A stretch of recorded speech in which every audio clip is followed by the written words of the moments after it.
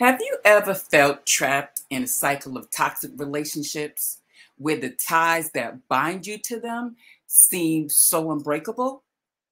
If so, you're not alone. Tonight, we're going to unravel the complexities of trauma bonds and reclaiming your power. So get ready for a transformative journey unlike any other.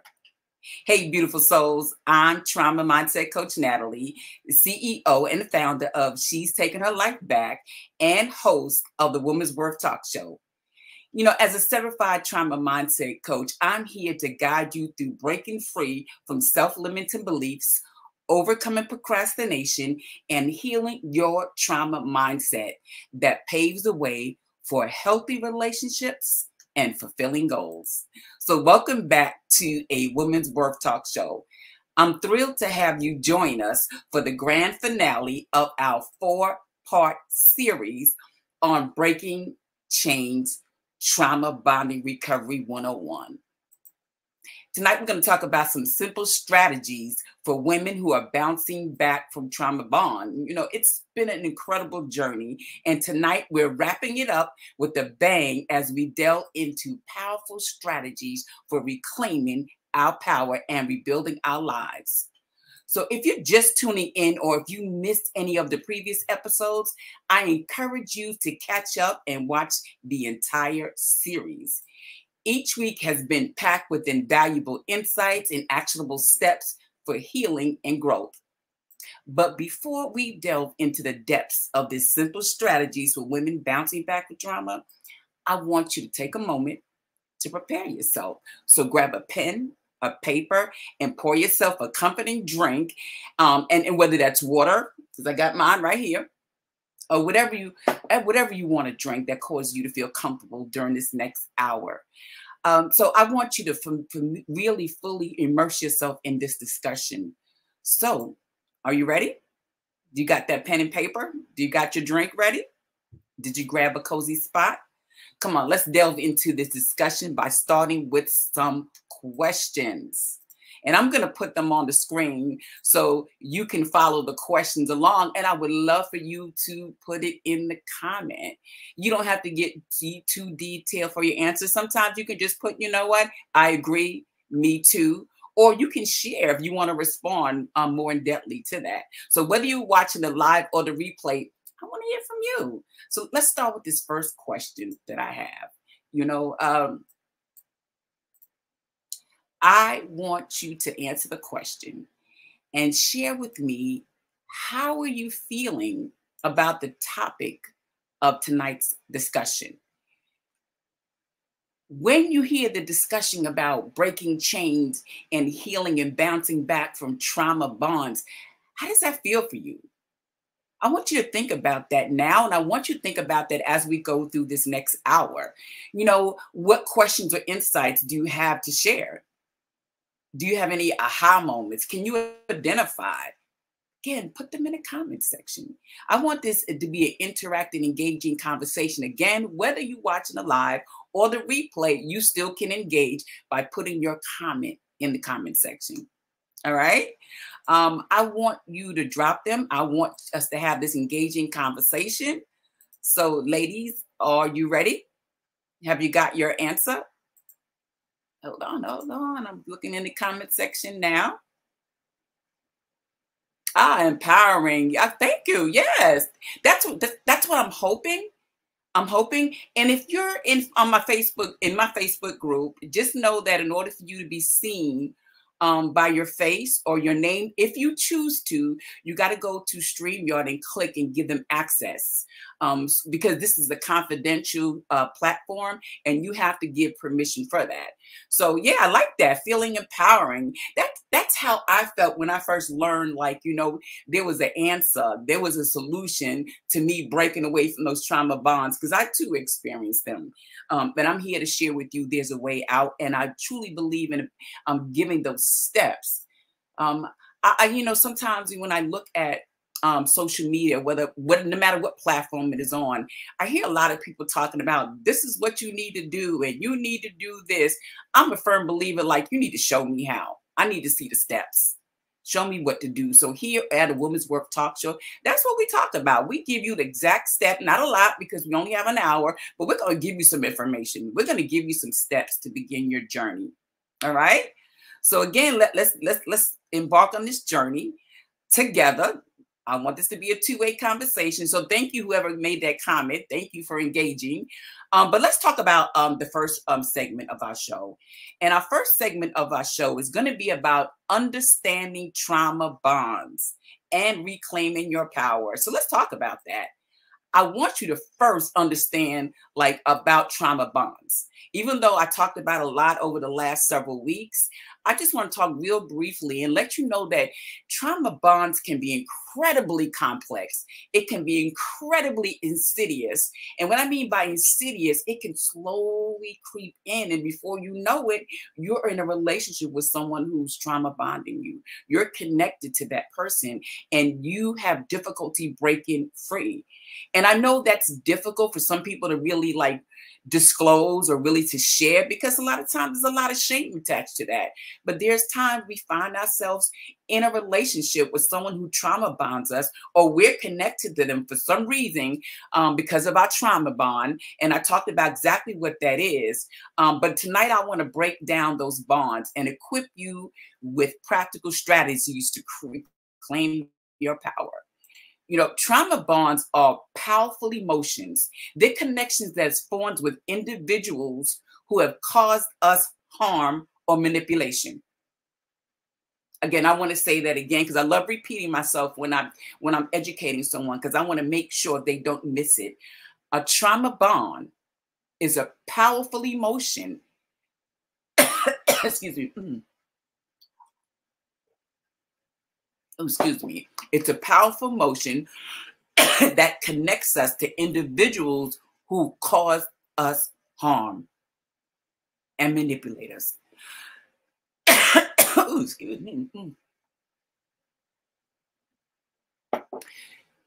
I also want you to know that these bonds are often rooted in intense emotions like fear and loyalty and attachment, making it an incredibly difficult to break free.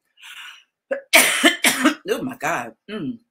You ever asked yourself, or have you ever seen someone in a relationship and you recognize for them that, you know, they are not in a healthy relationship, or you yourself say to yourself, I know this is not a healthy relationship, but somehow you find it difficult to break free? No matter, no matter how many times when you go through the ups and downs with someone you're connected to, um, which is called a trauma bond. When they say, you know, how much they love you, then they turn around and they, you know, become emotionally unavailable and you still remain. That's a trauma bond. And then you challenge your own thinking and ask yourself, like, why am I here?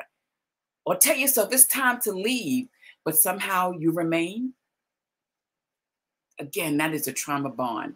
And when you have a trauma bond, it is difficult to separate yourself. It's going to require you telling yourself or someone else telling you, you know what, you just need to leave. It's going to require more than that.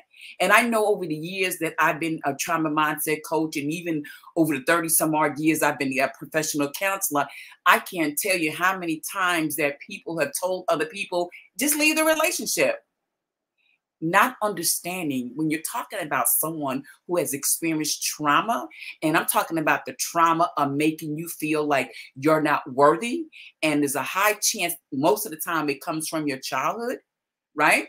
And if you experience that kind of trauma, and, and there are, let me stop. There are different kinds of trauma.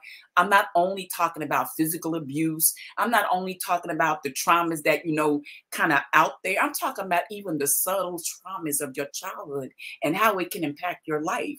Let, let me give example with myself. And I, I share about my life openly because I want people to know that you are not alone and I can identify with those experiences. And through my own healing journey and through my own training as a counselor, I want to share with you some real stuff. We're going to have some real talks on, the, on this talk show. We're going to continue to have real talks so if, like myself you know i didn't grow up in a household where i was physically abused that didn't happen for me although that happened for many other people although that did happen as i grew up as an adult um, not in my original family of origin but in my relationships because majority of them were domestic violence relationships right But in my childhood, although I did not experience physical abuse, what I did experience is emotional neglect and not intentionally.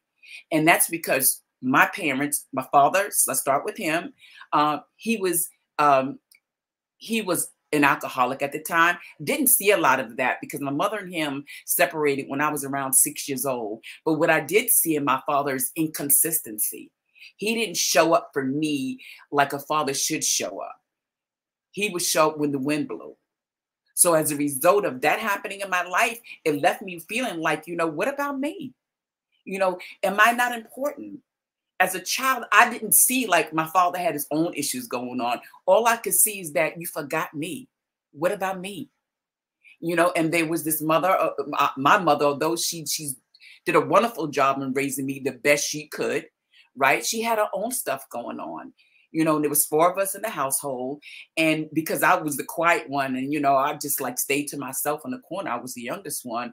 It was kind of like, okay, I don't have to worry about her. That was one of the other issues. And another issue that I was left feeling like I wasn't important that I found out when my mother and I had this conversation um, in my, um, probably, and I was around 20, I want to say around 28, 29, I was able to have a conversation with her and ask her, like, what happened? Like, why didn't you pay attention to me? Why didn't I feel in, important? I had this conversation with my mother, and what she also explained to me, in addition to her being distracted from her own issues that left me feeling like I wasn't worthy, she also shared that I was a reminder of herself. And she did not like herself a lot growing up. Now, this was before my mother went into therapy and she was able to go to therapy. She was able to heal. And that's why we were able to have these real talk conversations, right? So, because of those two instances, I was left feeling like I didn't matter, that I wasn't important. I felt overlooked as a child. So having that experience in my childhood, it played out in my life because I kept getting connected in relationships and situations that reflected I wasn't worthy. So when I attached myself to relationships, guess what? Again, they left me feeling like I wasn't worthy. And I remained.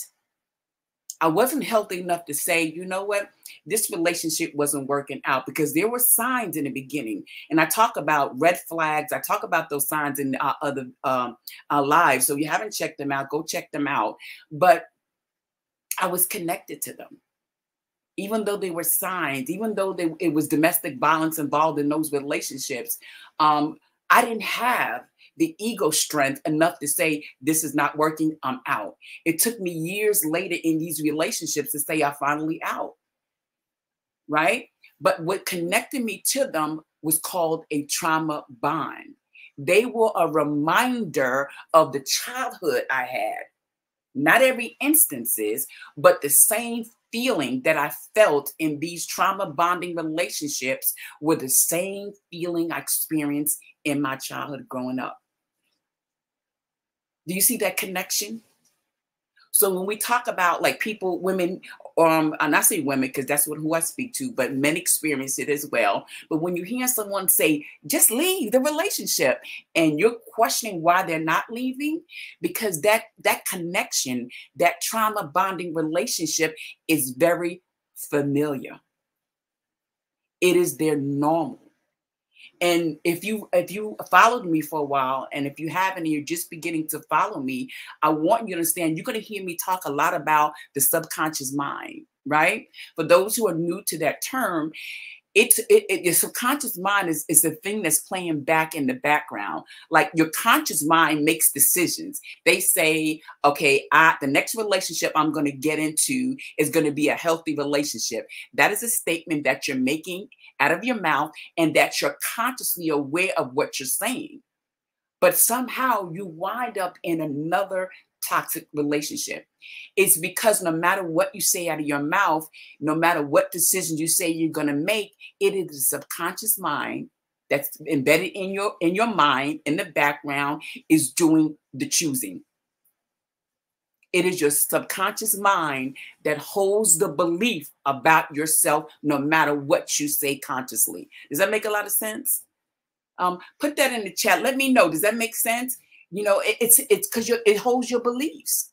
So if you ever seen yourself like struggling, like I want a better relationship, I want to get out of this relationship, I want a better life, but can't seem to get there, is because your subconscious mind is still holding beliefs from your past. And that's the part that needs to be healed. And that's the reason why I became a trauma mindset coach, because even though we get out of these situations, we have to get our minds out of those situations. So if you're out of those situations, you got to ask, are you really out? I don't mean physically. Are you out in your mind? Are you still holding on to beliefs? Because if you don't change your way of thinking, if you don't heal some of that trauma through your mindset, there's a high chance two things are going to happen. Well, three. One of them is that you may go right back into another unhealthy relationship. And the reason why we do that is because if we take the time, like people tell us, take that time between relationships, then we're left with us alone with our mindset that has not been healed. And then we start playing out who we are and why we got into these wrong relationships and a whole lot of negative self-talk and just a, just a loop of negativity. So uh, some people, like in order to get out of that, they just jump in another relationship to distract themselves from being with them. That's when we start going from one relationship to another, to another, to another, with no breaks in between or very short time between relationships because it's too unbearable to stay with us in our mindsets that holds the belief about who we were are based on what we were told and shown in our childhood. Make sense? Make sense? Just checking out one of the comps. Good, thank you, makes per. Thank you. Yes, you know, and, and and the reason why I do a lot of education because a lot of times people can't connect where they're stuck now. They can't connect like everything is happening, even though you're an adult. If you experience some, some some form of trauma, it's a high chance that it's connected to somewhere in your childhood. It laid the groundwork for who we invite in our lives. It lays the groundwork for how high we soar in life, no matter what you say out of your mouth. No matter how many times I'm going to repeat it, you say, the next man that I get involved with, he's going to be different. This one is going to be healthy.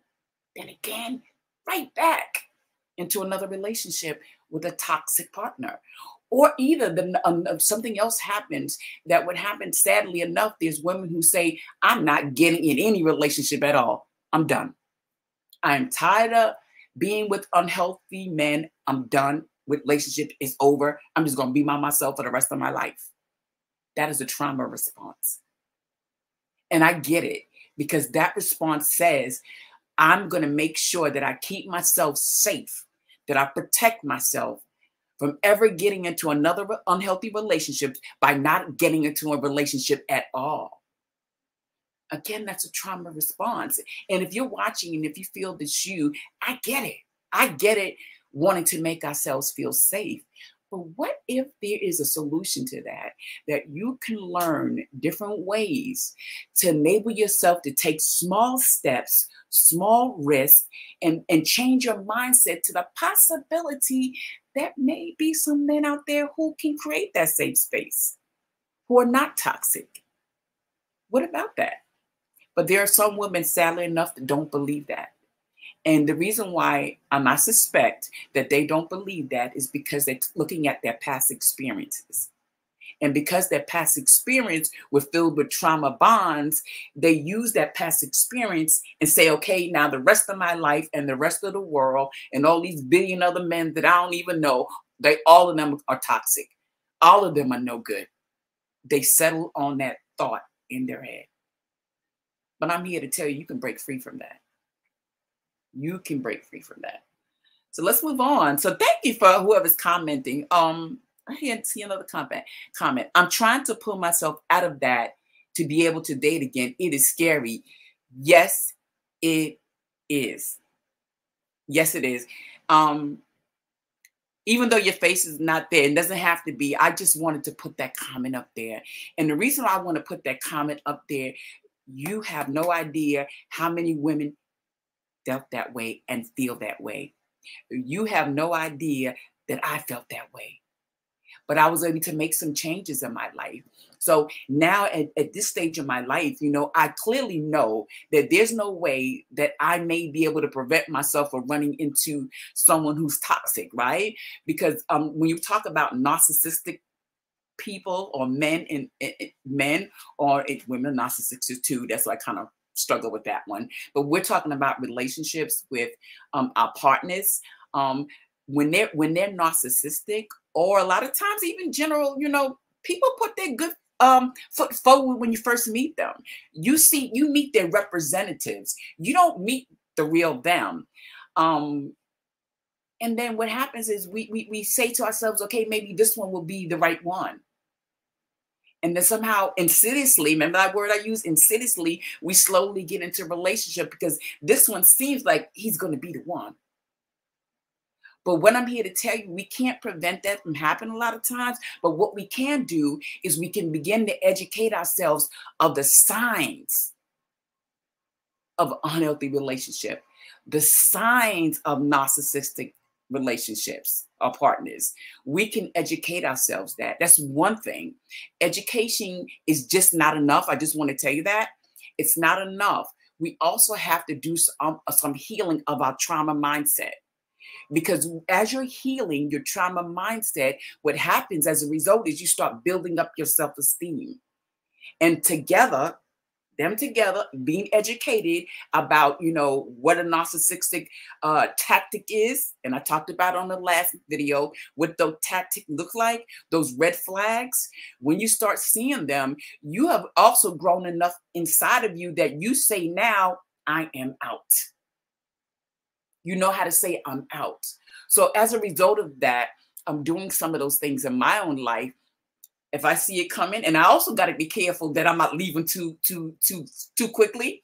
I had to learn that like years ago. Um, let me not wait for the first little thing to happen and say I'm out. Like, just be careful. I have to see that there's a pattern, and I didn't do it by myself. I had support around me and I was able to bounce them off. Like, you know, I met this guy and these are the things that are happening. And I got some question marks in my head. Little antennas are going off. And then I run it behind, behind I run it by someone that I trust that has the ability to say, well, Natalie, let, let, just, let's give it a try. Maybe you're just being too overly cautious because of what happened in the past. So then I may wait another time. And then if another red flag shows up, we out. And as a result of me practicing that kind of thing, I began to feel safe. Because the reality is, I can't change, I can't change people in the world, but I can change me. I can become secure in me and trust me enough that I know if it doesn't feel safe, it's time to leave. Is that making a little sense? And, I know it's easier said than done, but trust me, with practice, and it all starts with building up our own self esteem, right? With practice of doing that kind of thing, slowly but surely, honestly, like uh, um, and I'm living example, you're going to want more in your life. You're not going to want what you used to want. So the struggle to leave or, or, or go or the struggle to say, you know, I'm out will become easier it'll become easier. Um, yes, and it takes work. It takes work, but it's possible. But again, um, I clearly understand. Oh my God, this the, the fear, the fear, particularly if you have been in a situation like myself, like I've been in cycles of domestic violence relationships. You know, it wasn't one, it wasn't two, it wasn't three, and it wasn't four. There were cycles of them. But I interrupted that pattern by doing the work of healing my trauma mindset. I did the work. And I can tell you this, and I've shared on the other videos. Anybody knows me, I'm, I'm going to keep it real. I have ran into some brothers that were fine, had good educations, were well off, and I said, I'm out. I'm out because I've learned to educate myself about what is a healthy relationship. What does that look like? What are the things that's supposed to occur like in the beginning of a relationship? So in the last video, I think it was my last one, I was sharing a little bit about that relationship and how he began to love bomb me, like telling me, you know, all these wonderful things. And we just connected like maybe a week or two ago. You, you should not be calling me boo. You shouldn't be. You shouldn't saying like you, you're you're the most wonderful woman. You know, I haven't met a woman like you in years. Those kinds of things. Like it's not appropriate. Like I just met you a week ago you know so again check out that video um, I, I, wanted to do this monthly series because i really wanted to take the time to educate women on how to break free from that scary place from that scary place and you're so right whoever responded it is scary but it's possible to learn to take small steps and take risks if you set up your life in a certain way definitely beginning with changing and healing your trauma mindset you know we we can find those healthy relationships right? So let me move on. I want to continue. And again, thank you for that response. You, oh man, so many women um, um, definitely feel that way, included myself at one time. You know, um, I want to talk more about uh, trauma bonding because again, I believe in educating. Trauma bonds can manifest in various ways. Um, they can uh, manifest themselves in abusive romantic relationships to family members who are toxic and trauma bonding and even manipulative friends. Has anybody ever had like someone in your family uh, that was toxic, but somehow you are bonded to them? And most likely you are bonded to them because it's kind of like uh, if I don't have them, who do I have? I'm alone. So I put up with. And I'm so conditioned and around family members that have been like that for years that that kind of space is familiar to me. So to still be connected to a toxic family member, people are familiar with that and they become, you know, I hate to say comfortable because it's an uncomfortable situation, but they become conditioned to remain in that, even though the family members are unhealthy. You know, um, anybody had any friends that were like that? And then you remain connected to them because it's better than being alone. You ever thought about that? Better, better them than by myself. Better with someone else than being alone. You know, regardless of the relationship, you know, the trauma bond can be devastating. It leads you to feeling even more unworthy. It leads you to feeling even more helpless. It just leaves you feeling so much in despair. But I'm here to tell you, reclaiming your power involves recognizing the signs of manipulation. That's where it starts. Begin to recognize it. What is the signs? I shared in the video that even though I knew the signs, even though I knew that something was wrong in a relationship with one of my partners in, years ago, when I when I first invited him to my house, and again I shared in the video, I didn't invite a total stranger. Like I knew him, but we just connected. Like um, decided that we were going to give this dating thing a try. Like early on, he was showing up in my house and walking around places he was not invited. I didn't take you on the tour. You taking yourself on a self tour, and then the next day showing up with things, things showing up with things and money. And come on, I'm like in my head, I was like, I knew something was wrong with that. Like, why is he giving me like several hundred dollars? Why you come in with a TV? Because I just moved into my new place. Why did you come with a cell phone? And why did you come with all this stuff early on in our connection? Ladies, I'm here to tell you, being honest, being transparent. Like I said in my last video, I wish I would have said, you know what? You can keep that. It's not appropriate. Um, I think it's too early in our relationship for you to be doing things like that. I really wish I would have said it, but at that moment, I was taking it. I was taking it. I took it. And he was giving it, and I was taking it. And at that time, I was so broken before I met him. I was so, so broken. I felt so unworthy. And he was just showering me with things and taking me places and flowers and all of these wonderful things that I was like, I'm taking it. And I shared in it last video and I'm sharing with you now. I paid the price for that at the end. I paid a price for it. So even though I saw the signs, even though I knew something was wrong, and at the time I couldn't connect and say, okay, this man is uh, uh, a manipulator. I couldn't connect that. I but since that this is not right. And then I talked about another relationship again that was so inappropriate. Um, and I don't mean inappropriate sexually, I'm talking about with words, bringing a stage of what should have been happening in a committed relationship, bringing that to the early dating experience. Inappropriate. Inappropriate. So when I see that now, I'm like, not me, we're not doing this. I don't care what you try to bring, we're not doing this. We're not doing this. Um, because being with someone who trauma bonds is devastating. There's highs and lows. There's love bombing. I love you, the best thing in the world. And all of a sudden, that switch clicks, and it's like they're not emotionally available to you, belittling you, putting you down, making you feel like you're you're not important, gaslighting you, guilt tripping tripping you, and then you're like, what in the world is going on? And then the next stage is the love bombing you again. That cycle is so frustrating. It makes you feel like, what is wrong with me? They're so strategic in making you feel like it is you all the problem. And then you get to the point where questioning, like, am I the problem? And all of that, if you take some look at pieces of your relationships, if you ever just take um, take a notebook, take a journey, and just kind of review your relationships in the past, you'll notice that they have a common theme.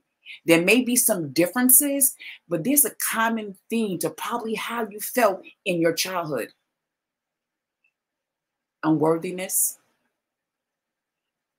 second guessing, saying to yourself, well, maybe it's me, maybe something wrong with me. And I did that one.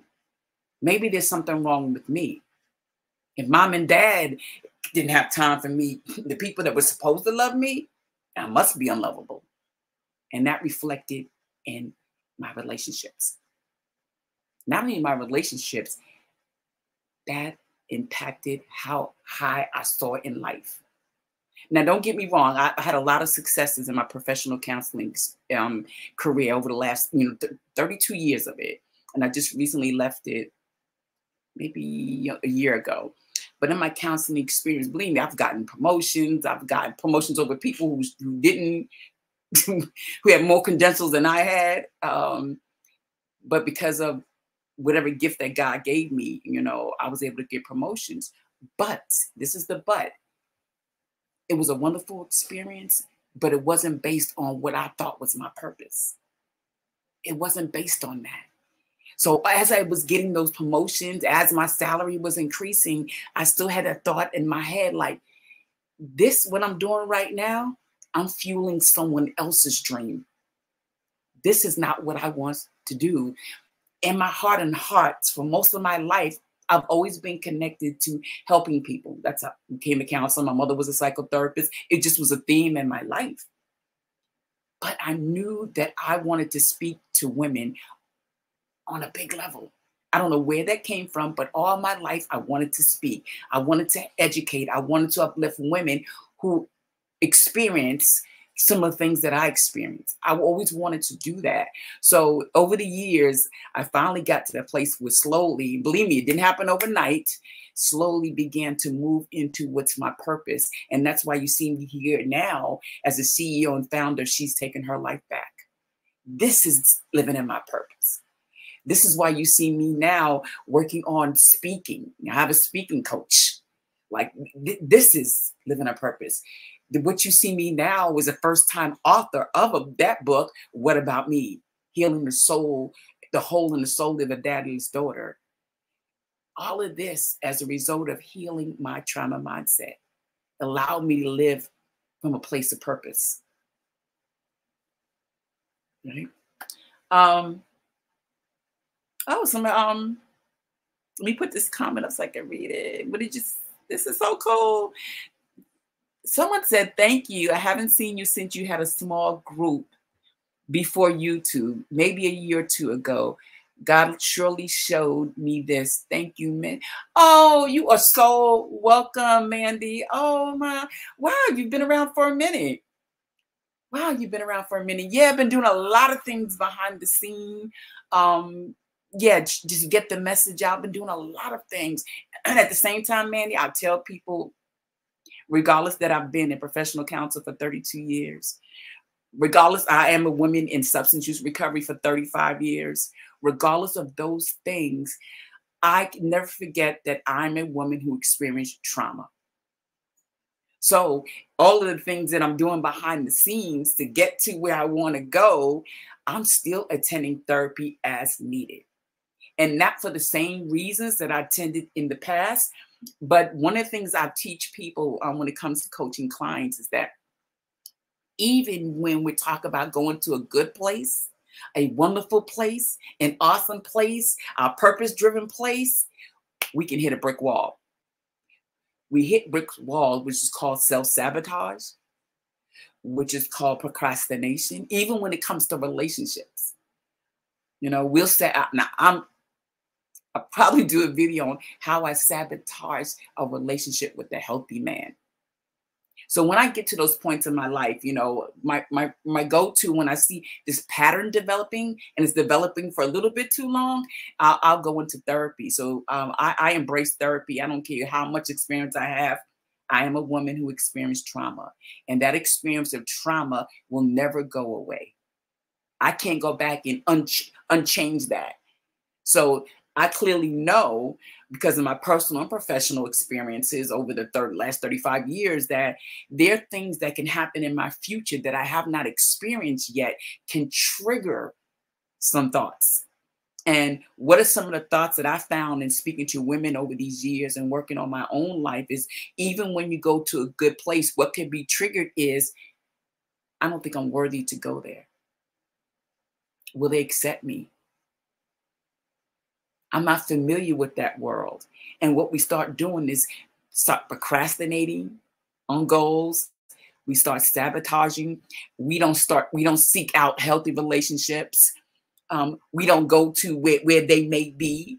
We don't do the research of, you know, where would I go find a healthy man? Like, what do I look for? We don't do that um, when you're unhealed. But when you start healing your trauma mind, start you start taking action. And action is not always fluid. Action is like, you know, we get stuck because your trauma mindset shows up, but we around some support and we learn some tools that, you know what, we don't stay stuck for long. We keep it moving. We keep it moving, right? So let me share some more because I just have so much information. I love sharing um, information with women who had experience like me. You know, I just want you to know that in essence, reclaiming power is a journey of self discovery, it's a journey of healing, and it's a journey of empowerment. It's about breaking free from the chains of trauma and stepping into your authentic self with courage and resilience because you're going to need courage on this journey. That's why it's so important not to do this by yourself. Even if you tell yourself, you know what, the next help man is going to be healthy. Know that you have to be equipped with a support system, some new tools to cope with what's going to happen on the journey because it's not fluid. It's because you're going to hit bumps, bumps in the road. That because you may run into that toxic person, you need a support to tell you that's toxic, man. you may want to leave. They may they, they need to help you go through the signs and tell you, remember those signs you learned? Uh, it seems like this person exhibiting one, two, three, and four. You may need reminders because you may be so caught up in other things that feel good, you're not recognizing, uh, and this is the time to like leave. But you can do it, it's possible. You know, so tonight we're going to embark on continuing this journey. You know, I'm going to arm you with knowledge, support, and an unwavering belief that we are deserving of love, respect, and freedom. So buckle up, beautiful souls, because tonight we're going to continue the discussion because this is going to be a game changer. I'm hoping it's already a game changer. You know, it's time to reclaim your power and rewrite the story that you're holding in your trauma mindset, one empowering step at a time. Now, here's where I want to explore some practical strategies. I want to share a strategy with you. Hold on a second. I just want to put some of them on the screen.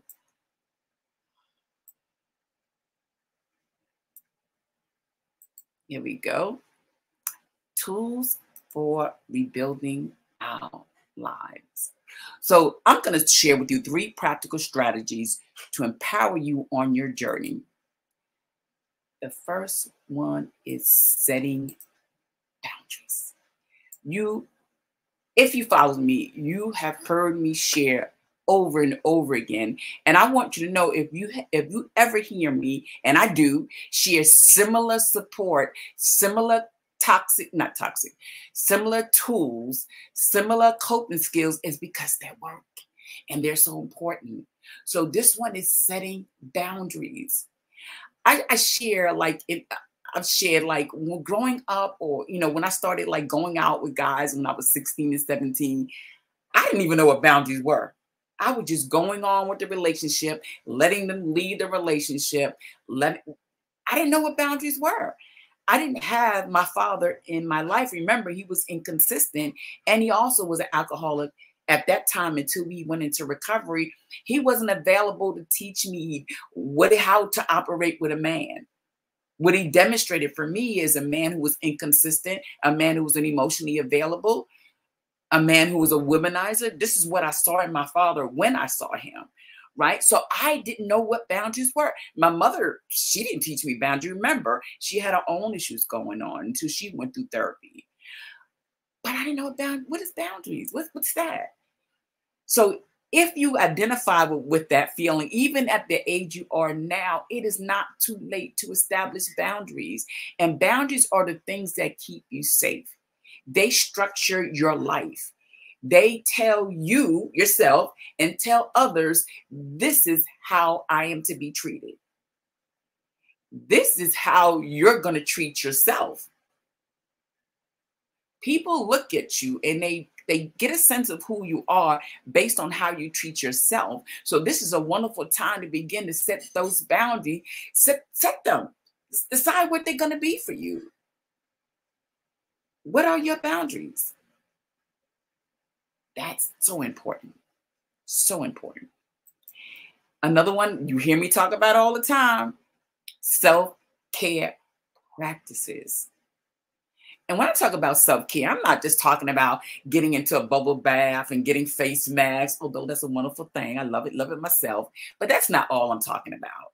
You know, I'm talking about prioritizing your well being in every aspect of your life, from nurturing your mental health to honoring your physical needs. Self care is the cornerstone of resilience and growth. When I say resilient, resilience means it's that bounce back. That bounce back. Because again, we we don't know who we're going to run into in this world but we have to have the ability to take care of ourselves. So you know we taking care of ourselves that gives us that bounce back because the more you take care of yourself the more you build up your self-esteem and the more you say we're not doing that anymore. Oh when, when no no when, we're not doing him anymore. And when we see him coming no, we're not doing that. That's based on you taking care of yourself mentally physically, as well as those masks and, and, and, um, and bubble baths and candles. Do that too, because I, I love them. The other thing that you always hear me talk about is seeking support. You know, I, this has been like not only in my experience, but over the years of me helping my clients and sharing with them, you cannot do this by yourself. And the reason being is what I said earlier in this in this in this live. A conscious mind, the part that you are aware of, the part that makes the statements, this next relationship is going to be healthy. I'm going to make sure I see the signs in this next relationship. I'm not going to go through what I went through before, right? That's your conscious mind talking. Remember, I said we also have a subconscious mind. And a subconscious mind is the one that makes the decision no matter what you say consciously. Has that ever happened to you? Have you had made statements and said, this is going to be different. I'm going to do this. I'm going to do this. But somehow you revert back to those old patterns and you don't do it. And I know that's frustrating because I experienced it. I know that's frustrating. That's because it's your subconscious mind that's doing the choosing. And you need support around you of people who you trust, family members who are supportive. Because we have some some people have some family members who are supportive who understand. And when i back up. When i mean by supportive i mean supportive in the way that the answer is not i want better for yourself so just leave him they may be coming from a great place but that does not really help because we ourselves know if we're in a relationship that's not good even when we're in that relationship we already know that we should be leaving. Correct, ladies? We already know, but the conscious mind is keeping us stuck there because that, that's what hold the beliefs about what we deserve. Right? Uh, um, Mandy says, yes. Yes. It's important to understand you need some support. Um, one of the reasons why, again, I became a trauma mindset coach really is based on um, the 32 years that I've been counseling, and I specialize in addictions. I specialize in uh, trauma recovery. I specialize in even criminal thinking. I specialize in anger management. I specialize in some other therapies as well. But throughout that, you know, journey, I realized a lot of my clients experience trauma in their past majority of them experienced trauma. And even though they did well, you know, and, and while they were inpatient treatment, even though they did so much, they did well. They all took all the notes, they was able to recite all the things.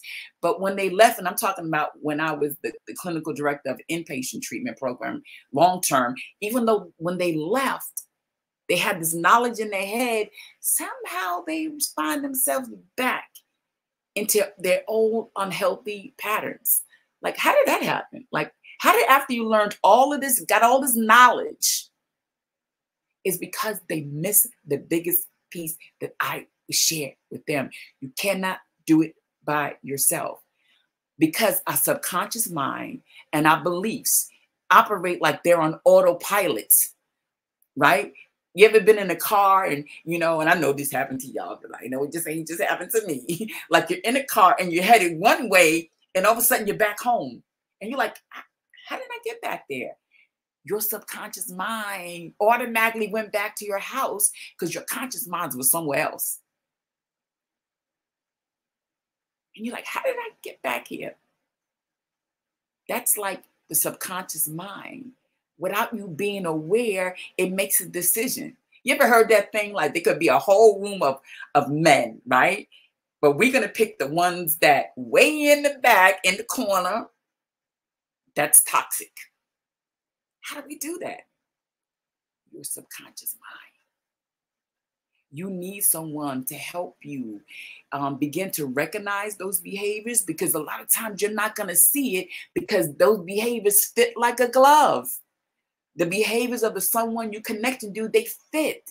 They are your familiar. Your subconscious mind, subconscious mind connects to them. Like we fit, no matter what you say out of your mouth. That's why it's important to, to heal the trauma mindset where holds the belief about who you are. I don't care how many, what's, what's the same people say, I love me some me the only way that you're going to convince me that you love you is by looking at the relationships in your life and looking at your life and seeing how high you're soaring. People who begin to really love themselves, they live from a place of passion and purpose.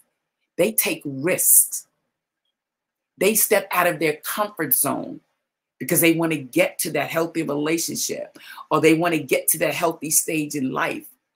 So even though it's risky, they they love themselves so much that they're willing to take the risk because if, if danger shows up, guess what? They know how to pull out. You can get there. Doesn't matter what you experienced in the past, you can get there. But you cannot do it by yourself. You cannot it takes some time. It doesn't take years, but it takes some time for you to begin to operate with this new belief. It takes a little bit time for you to begin to rewrite the story. When I mean rewrite, I don't mean just writing on piece of paper what your life is going to be like. I'm talking about changing your way of thinking, changing that wrong narrative in your head and have it match this purpose driven life. Change that narrative. So it speaks to your life. And when you look at your life, your life says that, oh, you love you some you. You love you some you because your life looks that that way. You're not just saying it out of your mouth. It's not just a cliche that I can look at your life and see that you love you. It's not by your talk, it's by your walk. Making sense? Um, so again, you know, seek support. Seek support. You know, join a support group.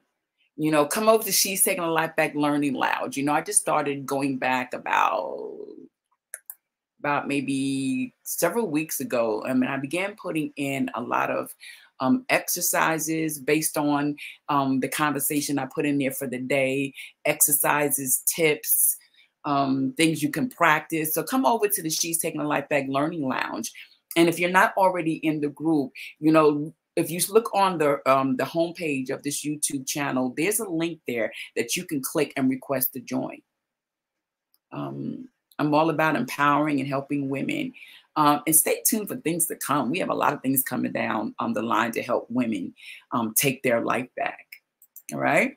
So I also want you to know, and, and, and, and this is another struggle with people. I want you to know it's okay to ask for help.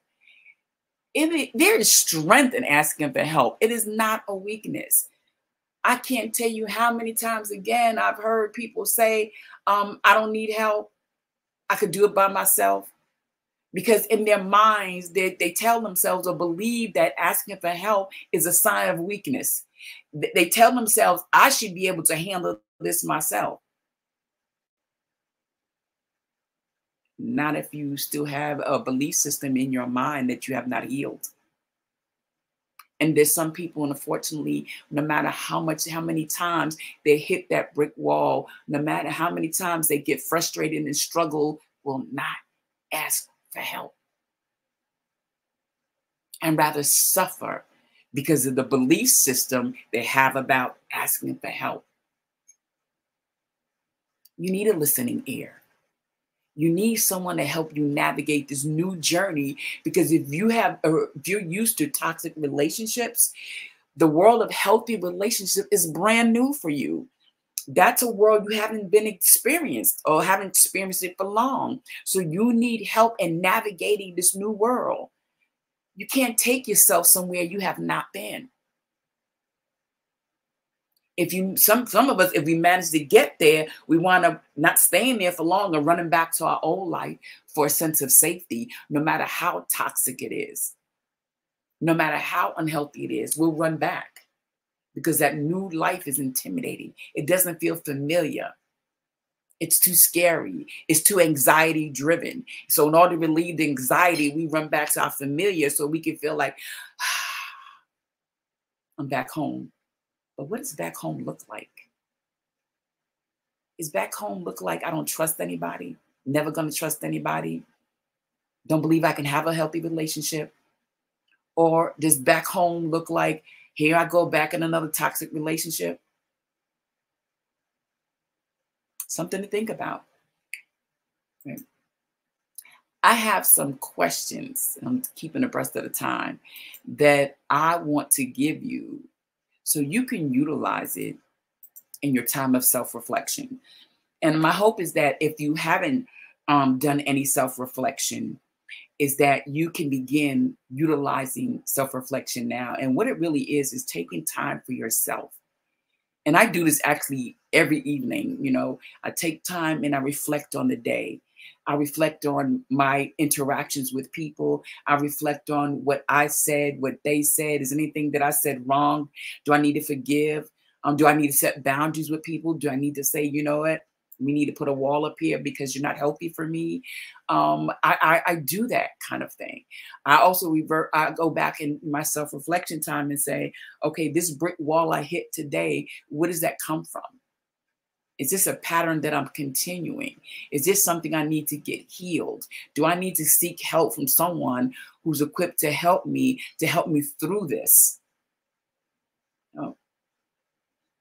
Mandy has another comment. One of the hardest things is finding a therapist counselor that knows I need healing. I have just started growing. It it was the learning lounge. Oh, okay, awesome, awesome, awesome. Um, I hope that you're in it. One of the things that unfortunately that happened, well, it didn't affect the learning lounge. I was about to say my, my account on Facebook got hacked like twice. Go figure. But the learning lounge has always been in there. So if if you're in there, Mandy, you know what? Follow us, join in and, and engage in the conversation. Um, I'm trying to get that group engaged and having conversation to support each other. Um, but yeah, hardest thing is finding a therapist counselor knows I, I need healing. Actually, but I can I can I help you? It's okay for me to say this, Mandy, to you. Um, is it okay? So I'm not going to respond unless you say yes. It's okay for me to say. Because um, one of the things that I, am also known for, um, Mandy, is saying things that help people, but sometimes eh, I cause people to challenge themselves. So you said yes, okay. So what I want to say to you when you make the statement and you said, I, one of the hardest things, that statement right there is going to keep you having difficulty finding a therapist and counselor that knows you need healing. By making that one of the hardest things what you can do is reframe that statement. And what you can say is, as of yet, I haven't found someone that fits for me. However, I'm going to continue to explore and ask and, and seek around. And the reason why I'm saying that, Mandy, is because they're all good therapists and they're all good counselors. Again, because I keep things real and I've been counseling for a long time. At the same time, there aren't any. There are not aren't any, but there are counselors and their therapists who may not be a good fit. You're right. Right. So, and the reason why I know that a good, great therapist, because I have one. I have a wonderful, great therapist um, who specializes in EMDR. And he's a, um, an EMDR is basically for people who experience trauma, and he's just wonderful wonderful wonderful wonderful wonderful therapist and but but you know what you got to kind of when they interview you you got to interview them and you got to see if it's a good fit and even after being with them for like a, a month two months 90 days and you feel it doesn't work find another therapist because i promise you there are good therapists out there there are but again, you have to be able to be equip yourself to say, I'm going to stay in the game. I'm going to stay on the search until I find that right one. Because what is the alternative? What is the alternative? Um, I got another user. I don't see a name on my face, but said EMDR saved my life. Yes. Yes. Yes. Yes. Yes. EMDR for me was the therapeutic approach that turned the corner of my mindset. Um, I loved it so much that I went out and I got certified as the, um, an EMDR. It is just awesome. It, it, it, it is a game changer. And that was my experience, and I see that was your experience. EMDR is amazing. Um, but if you're someone who had or, or, or and there are people who are not comfortable with therapists, utilizing a trauma mindset coach can help you transform your mindset as well. But yes, whoever that was, yes. Um, Mandy says, I see, I need to continue to seek. So I'm going to help you again since you gave me permission, Mandy. I want you to rephrase, I need to continue. Change that to, I will continue. I will. Will has a sense of uh, empowerment to that word, I will. Doesn't it sound more confident as opposed to I need? I say that because I'm a big, I'm a big firm believer what you speak out your mouth, you will have. And you will, Mandy, you will. It is a journey too, but you will run into that right therapist.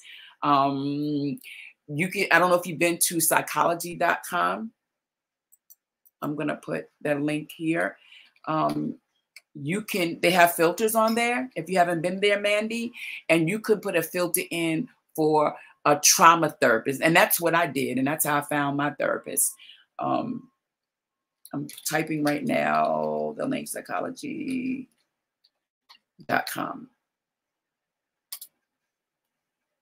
And again, even though I wholeheartedly and I love psychology.com, you know, when I had my um, counseling practice, you know, I, um, I put it on psychology.com, still need to do the work and investigating.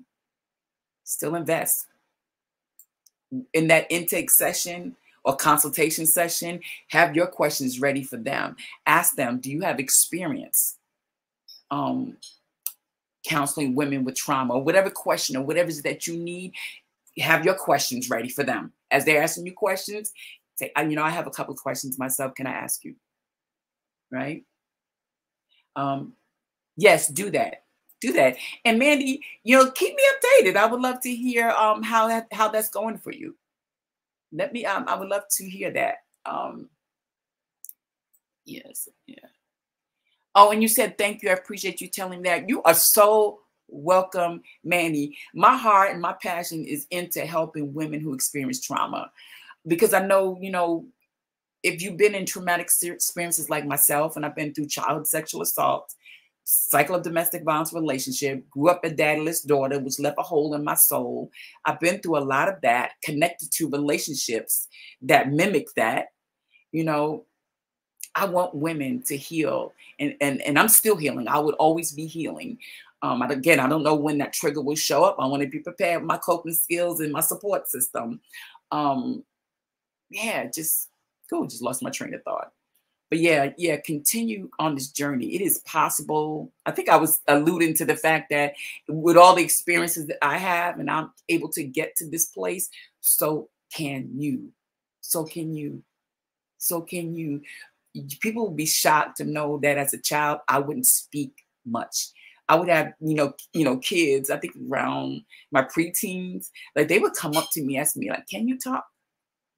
And that was around certain kind of, of um, group of, of, of, of people. When I was around my group, I can talk, I can say things. But when I was out of my comfort zone around people, I wouldn't talk. I would walk down the street with my head held down. I didn't say a lot. Here I am. I've spoken in front of front of hundreds and hundreds of people if I can get there, if I can break through that, it's possible. And you know, I'm laughing to myself because I my mind tells me like you sound so commercialish because people say that. If I can do it, but it's, it's the truth. If I can do it, so can you. We deserve it. We if we've been through trauma, I think that we deserve it. We deserve to have the life that we deserve after all that we have been through in our past. We deserve this life. So go after it. Take your life back. Take your life back. I'm here to help you make that happen if you're interested. Right. So again, uh, let's go. And we got to uh, end the show a little past about an hour. Um, the questions I have for you, right? I want you to think about this in your time of self-reflection. Um, and I want to see if I, I develop a banner for that. Did I put? Okay, I didn't. Okay, Okay. so one of the questions I want you to ask, and if you got your pen and paper, remember I said come with your pen and paper and your water, which I need right now. If you can't write it down, review the replay and, and remember this question. Have you experienced a situation where someone's affection felt overwhelming or suffocating rather than comforting? Remember, I said earlier in this um, live that I experienced someone who love bombed me. I talked about it in the last live. How, like early in a relationship, you know, you're you, you're the woman I've been looking for my life. Um, you're special. You're different. You know, I had the verbal suffocating. Then I had the the man that brought all the things, buy me things too early in the relationship. And after a while, it did become suffocating after a while. Have you ever experienced that? That it made you feel a little bit uncomfortable, like something's not right with this. How did that make you feel? And how did you respond? I want to give you examples. I want you to pitch a scenario where a family or friend always seems to make you doubt yourself or your decisions. I want you to think about that.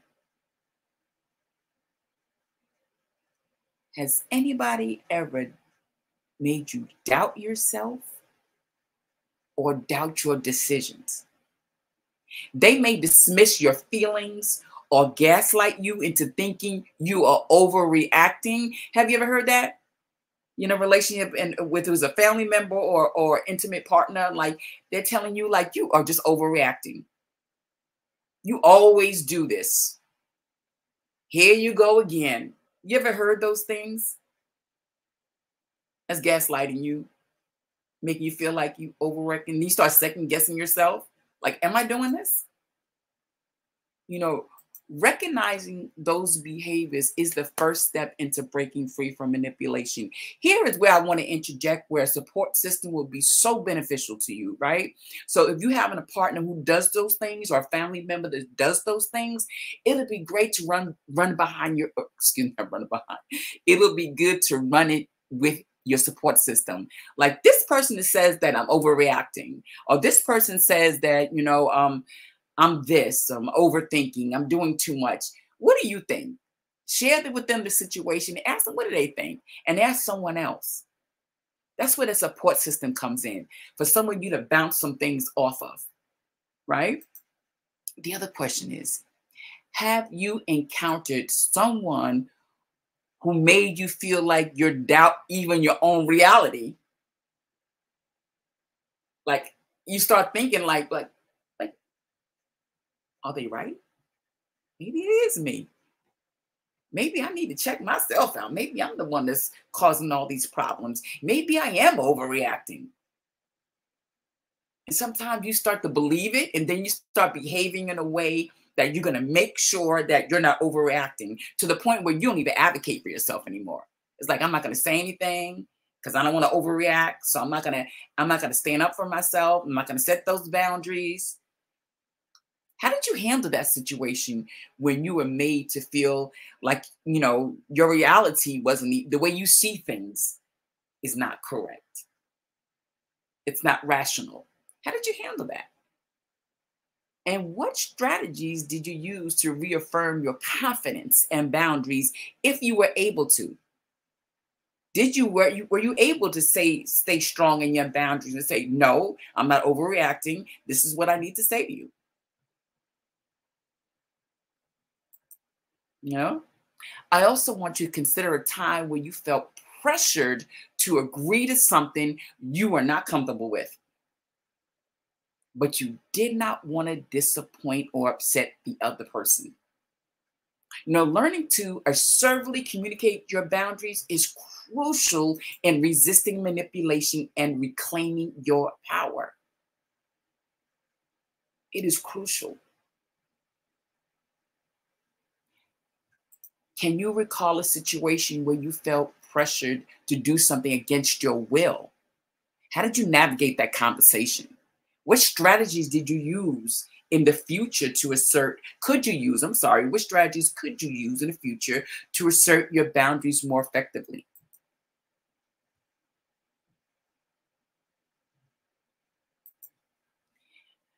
This is our, uh, our next segment the tools I want you to begin using for you to get using to amplify your journey.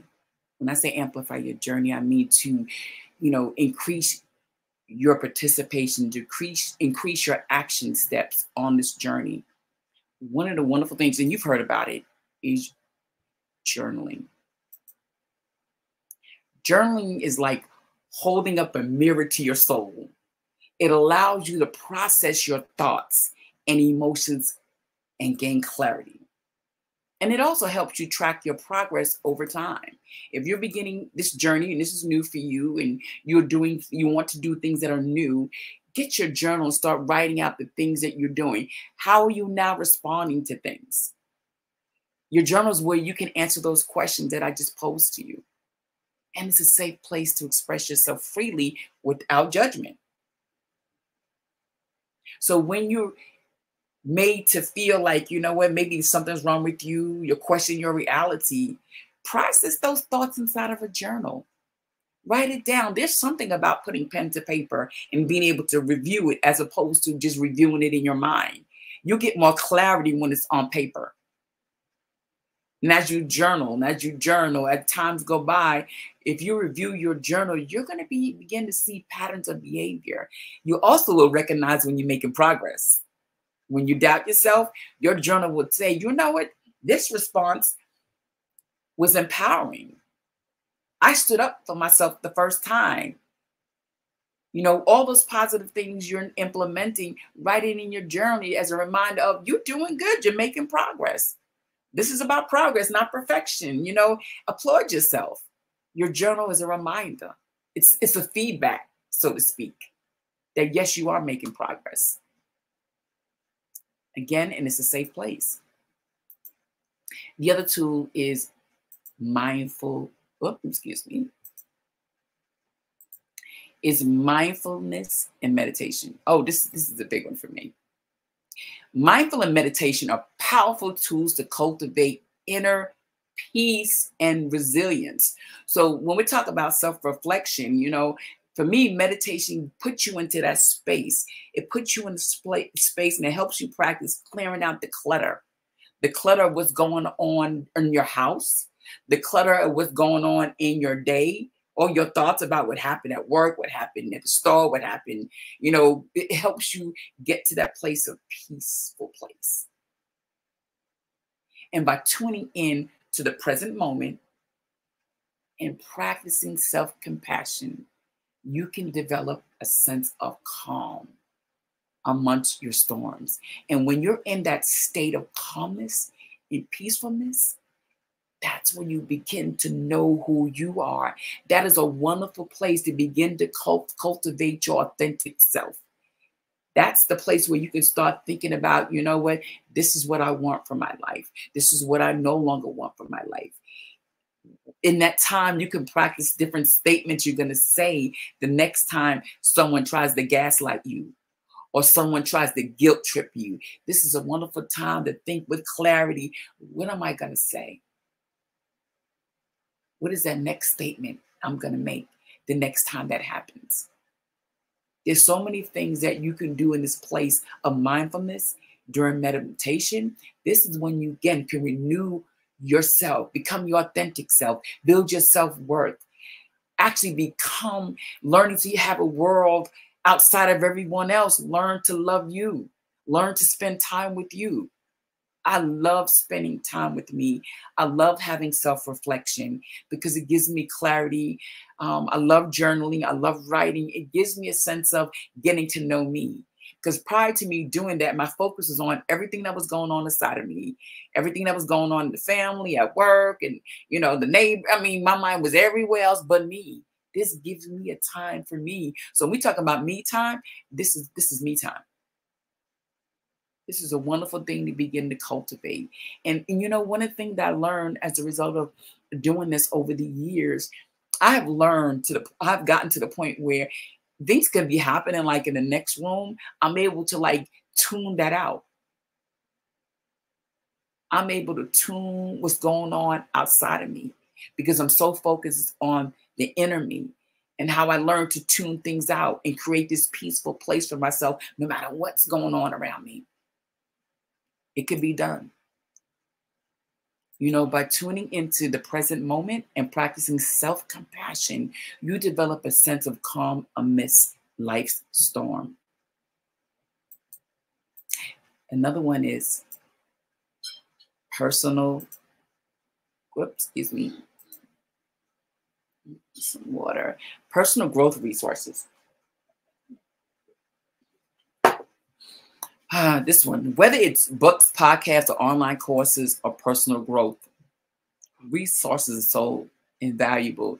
I have this, oh my God, I have so many books that I've acquired over the years. whether it's based on my you know professional training my own journey of transformation my own journey of healing my own journey of recovery i have acquired so many books i can tell you probably 99.9% of my books are based on healing self-help um, I go and utilize other resources, you know, podcasts. I take courses. I'm forever a student. I want to make sure I equip myself and be prepared to allow myself to grow. I want to prepare myself for what's next in my life.